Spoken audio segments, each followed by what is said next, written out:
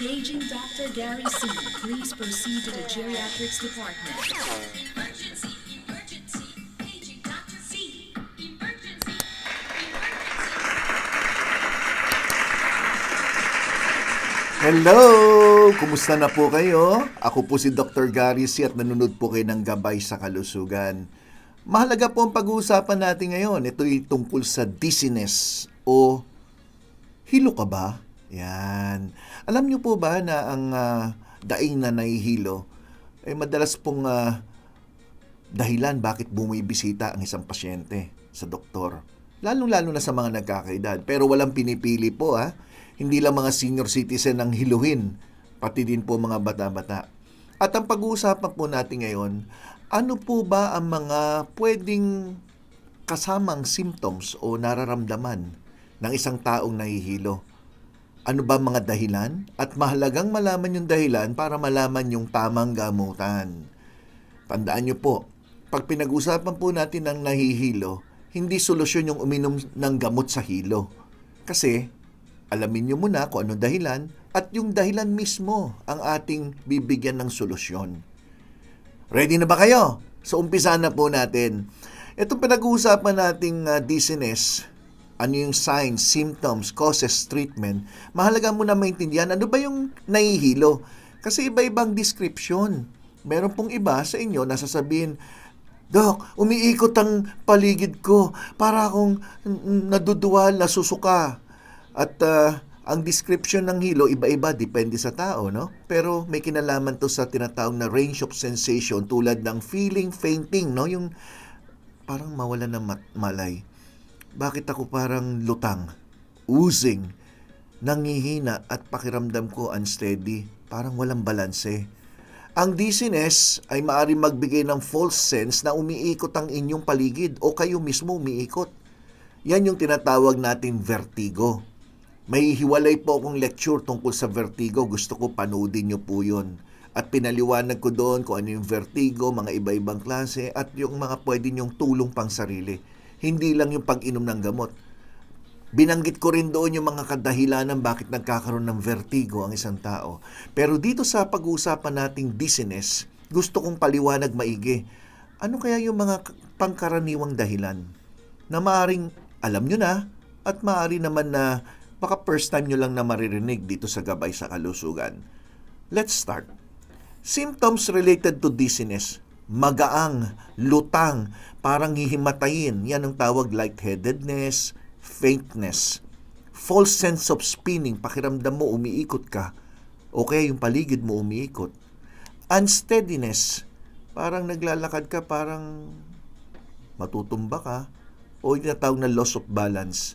Feeling of floating o parang lutang. Abay, kadalasan paglasing ka, nararamdaman lahat yan, di ba?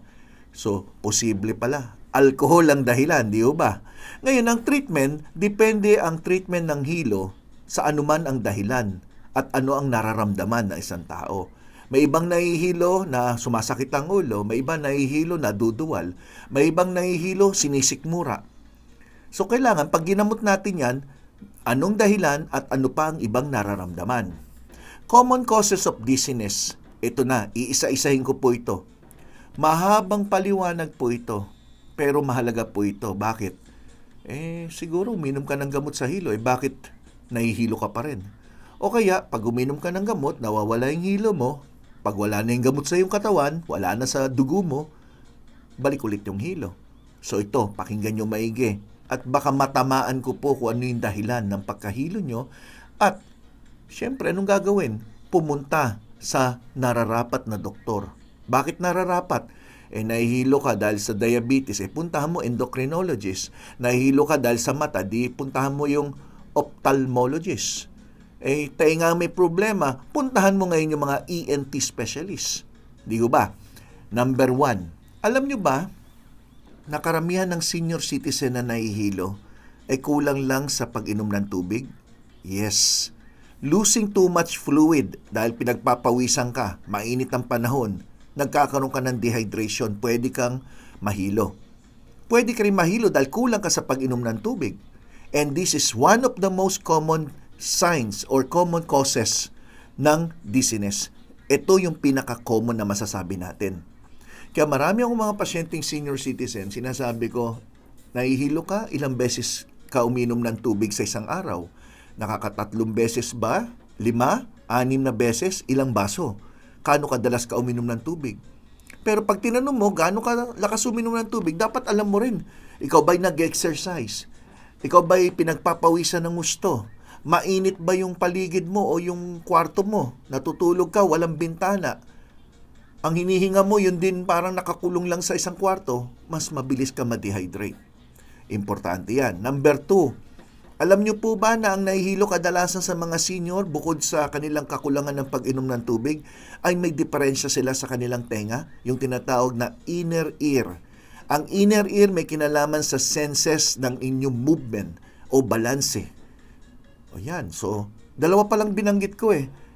Alam niyo po ba majority ng senior citizen na nahihilo kulang sa tubig at may problema sa tenga? Yun, dalawa na kagad yon. Pangatlo, alam niyo po ba na yung mga tao may migraine? Walang pinipiling edad pero mas pangkaraniwan to sa below 50 years old. Na inaatake ng migraine, ibig sabihin sumasakit ang kalahating bahagi ng kanyang ulo. At yung mga uminom ng alcohol, sila din yung madalas na magkaroon ng symptoms ng dizziness. At hindi lang yon. Maraming nahihilo dahil sa iniinom nilang mga gamot. Gamot na halimbawa muscle relaxant, yung mga anti anti-epileptic drugs, yung pregabalin na kadalasan binibigay sa nerve pain ay isang kilalang anti-epileptic drugs pero ang epekto medyo drowsy o nahihilo. Antihistamine o anti-allergy. Maaring alam nyo to na kung kayo may allergy, binigyan kayo ng mga antihistamine o anti-allergy, napansin nyo drowsy at ang sarap ng tulog nyo dahil may kasama rin bahagyang hilo. At yung mga gamot sa blood pressure. May mga gamot sa blood pressure na pag ininom nyo, may hindi maiwasan na minsan bumababa ang blood pressure nyo at nagkakaroon din kayo ng pagkahilo. So kung kayo po'y may iniinom na gamot na bago lang at nakaramdam kayo ng medyo naiiba, eh bumalik kayo sa inyong doktor, baka kailangan palitan o i-adjust ang dosage ng inyong gamot. Hindi lang po itong mga gamot na to dahil marami pa hong gamot na pwede mag-cause ng pagkahilo, even antibiotics.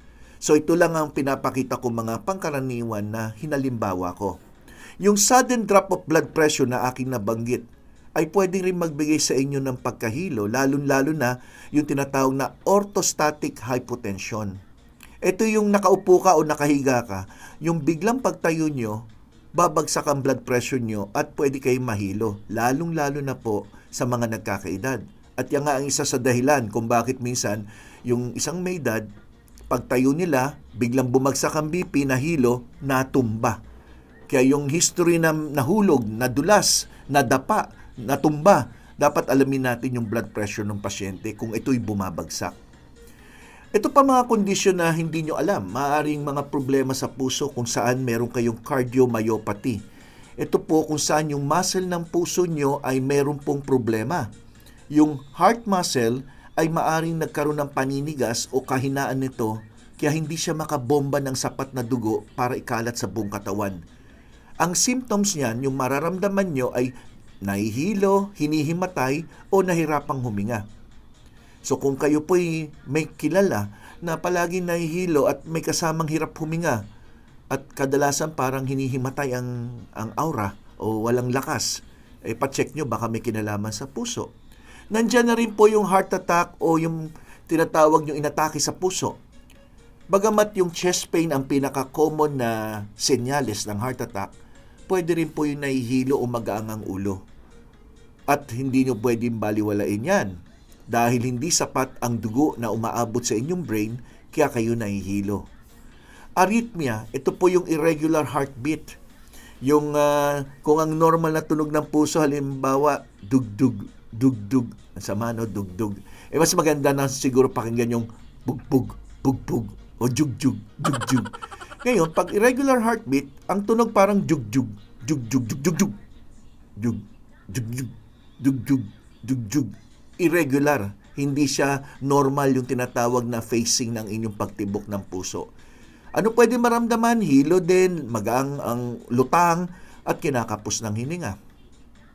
Lahat ng mga circulatory problem, yung problema sa sirkulasyon tulad ng binanggit kong cardiomyopathy, heart attack, at iba pa mga kondisyon sa puso kung saan pwede kayo magkaroon ng problema sa sirkulasyon. Kasama na rin po dyan yung mataas ang kolesterol, mataas ang triglyceride, may mga pagbabara sa ugat sa inyong puso o sa inyong utak. Pwede magkaroon ho kayo ng pakiramdam na nahihilo. Alam niyo po ba na even yung sinasabi mag-exercise tayong lahat, eh meron pong proper exercise. Pag nasobran, masama. Dahil ang excessive exercise, ay pwede rin kayo mahilo o lutang ang inyong utak, ang ulo. Ang isang sign dito ay dehydration ang pwedeng, pag, uh, pwedeng dahilan o heat exhaustion, yung kinakapos ka ng uh, uh, tamang ventilation doon sa inyong area na pinag-ehersisyohan. So, dizziness din yan. Ang heat exhaustion na kadalasan nangyayari sa mga panahon ng summer, ngayon medyo ligtas na tayo dahil eh, medyo medyo paulan na nga, no? So yung mga nasa maiinit na lugar, uh, hot environment, magkokos ngayon ng excessive sweating, andyan na po yung magkakaroon ka ng heat exhaustion at ang number one dyan yung pagka pagkahilo, pagkauhaw, laging tuyo ang lalamunan, pati ang balat, at pangihina. Decrease in blood volume. Mababa yung blood volume. Anong dahilan? Dehydration din at bleeding. Pwedeng nahihilo.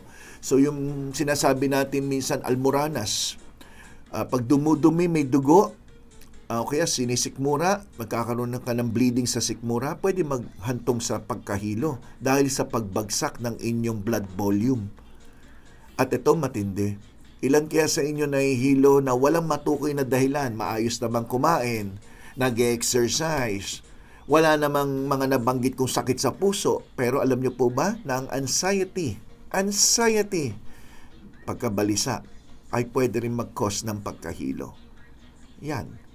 So, kung hindi nyo pinakinggan tong lecture na to, gamot ka ng gamot sa hilo pero hindi nyo inaayos yung mga anxiety disorder ninyo, na baka kailangan yung pumunta sa isang psychiatrist din para mapayuhan kayo kung kinakailangan ng gamot, ay hindi mawala yung hilo nyo.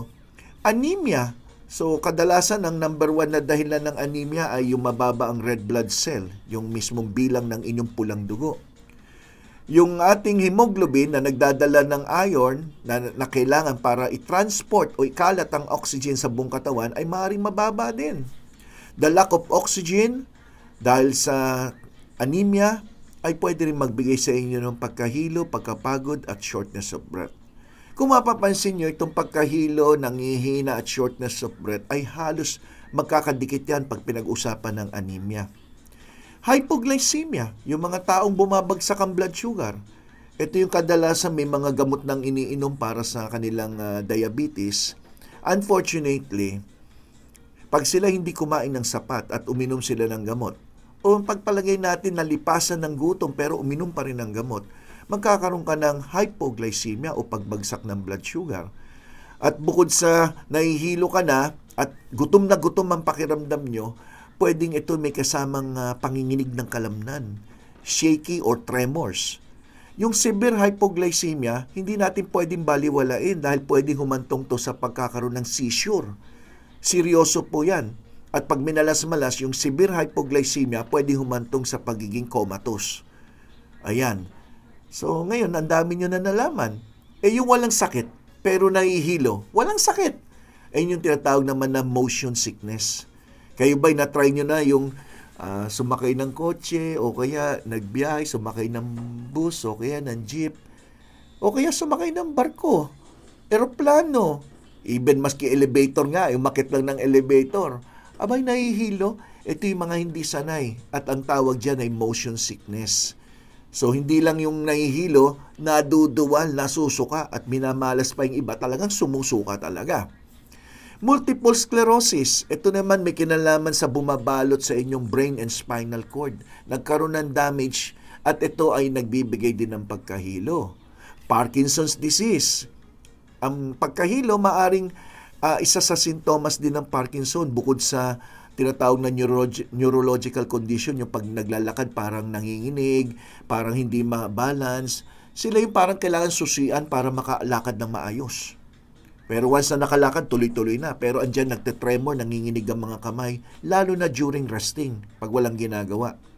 Yung pagkahilo, mas noticeable pag ang Parkinson ay nasa late stage. Ibig sabihin yung medyo matagal na o malala na yung kondisyon ng Parkinson, mas matindi ang pagkahilo. Ito pa, infeksyon. Abay, nagka-infeksyon. Halimbawa, sino sa inyo pag may sipon, di ba? Nahihilo. Pag may sipon, barado ilong, pati tenga, may umuugong at nahihilo din. Yung mga viral infection tulad ng flu, trangkaso at iba pa, even yung COVID, nagbibigay din ng pagkahilo yan. Bacterial infection sa, sa uh, uh, ilong, sa inyong uh, tenga, sa inyong mata, lahat yan pwede rin magbigay. Yung tinatawag na labyrinthitis, vestibular neuritis, ito yung mga kondisyon na may kinalaman sa inyong tenga. Kung saan yung balanse nyo naapektuhan at pwede rin kayo mahilo. In rare cases, ito bihira pero nangyayari. Yung mga na-stroke, may malignant tumor, may another uh, brain disorder, pwede mag-cause ng dizziness. Ngayon ang tanong, ang hilo ba delikado? Ang hilo, majority, hindi delikado.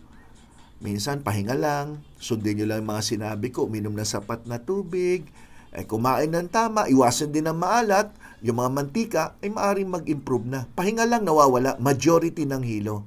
Pero may mga hilo na dapat wag nyong pababayaan o wag nyong hayaan lamang. At ito po yan ha, take note ha, may mga hilo na dapat pumunta agad sa doktor, lalo na kung yung mga hilo nyo ay may mga sumusunod. Ano yon? Number one, nanggaling ka sa isang head injury. Tumama ang ulo nyo at mula noon nagkaroon kayo ng pagkahilo. May kasamang pagsakit ng ulo. May stiffness ng inyong leeg. Yan, stiff neck. Usually yan, baka mayroong infection sa brain. Mataas ang inyong lagnat, hindi lang sinat, talagang mataas na lagnat. May kasamang pagsusuka, lumalabong inyong paningin, Napansin nyo, humihina ang inyong pandinig, may kasamang tinnitus o parang matining na ugong na naririnig nyo at napansin nyo nagbago ang inyong pagsasalita, nahirapan kayo magsalita. Maybe indication yan ng problema tulad ng stroke. Hindi lang yon bigla kayo nagkaroon ng pamamanhid o tingling sensation, yung parang tinutusok-tusok bukod dun sa pagkahilo nyo napansin nyo yung mata nyo parang bumabagsak at ang inyong bibig ay tumatabingi or tinatawag na droopingness. Ito yung uh, bumabagsak. Loss of consciousness. Dati okay ka, biglang hinihimatay ka paminsan-minsan. Sabi mo, bali wala to, okay lang to, pagod lang. Patingin po kayo. Kung may chest pain po kayo, napansin nyo, dati wala ka namang palpitation o nararamdaman nyo yung kabog ng inyong pag uh, tibok ng puso, at pwede rin naman mababa o bumagsak ang inyong heart rate. Normal heart rate between 60 to 100, eh bigla ka nag 40, 35, eh magpa-check po tayo. Kadalasan may kinalaman yan sa tinatawag na irregular heartbeat or PBC, premature contraction ng inyong heart. Yan po ang mga dapat nyong bantayan, yung mga sinabi ko. So kung linalag, ano, kung kayo po'y nahihilo at meron po kayo ng mga sinabi ko, please see your doctor. Para malaman, maagapan natin, baka may seryosong dahilan ng inyong pagkahilo. Ngayon, pag tinanong ako, dizziness treatment, Doc, ano ba magandang gamot pagdating sa nahihilo? Yung mga naiinom ninyo, mga beta-histin, o yung mga, yung mga biyahilo, kung ano-ano, pwede naman inumin yan, bakit hindi? Pero, baka naman panandalian lang ang maibigay niyang ginhawa. Still, alamin yung dahilan ng problema. Treatment for dizziness focuses on underlying causes. Ano ba ang dahilan? Dahil kung hindi nyo naayos yung dahilan, eh, baka hindi magkaroon ng ginhawa sa pag-inom nyo ng mga gamot sa hilo lamang. Di ba? So, bibigyan ko na lang kayo ng pangkalahatan na tips paano nyo ma-manage ang inyong dizziness. So, ito po ay pwede nyo gawin regardless kung anong dahilan ng inyong pagkahilo. Siyempre, kung nahihilo ka, umupo ka muna. Humiga ka muna sandali. Eh, huwag ka ng uh, lakad ng lakad o lalo na kung magmamaneho ka pa, iwasan mo yan, no? Magpahinga at maaaring yung hilo nyo ay mabawasan o mawala. This can prevent you from possible losing your balance. Kasi kung nahihilo ka, lalakad ka, nawala ka ng balance, eh, eh pwede ka magkaroon ng serious injury. Lalo na matumba ka o tumama ulo nyo. Just recently, may pasyente ako. Ang taas ng BP, bahagyang nawala ng malay, tumama ulo.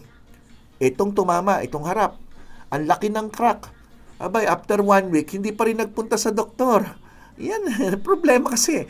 Nakabuka na yung sugat, kitang-kita na. Nung nakita ko, sabi ko, kailangan nating tahiin na yan. Pero, pinaabot mo ng higit isang linggo. Medyo patuyo na, pero nakabuka ang kanyang sugat. Marirepair pa naman kung makita ng surgeon agad. Pero binigyan ko ng pansin yung BP na mataas. Kaya sabi ko, ibaba muna natin yung BP mo. Doon muna tayo mag-focus. Pag okay na, see a surgeon para ma-repair yan. Kaysa naman meron ka malaking biyak na pa ganyan.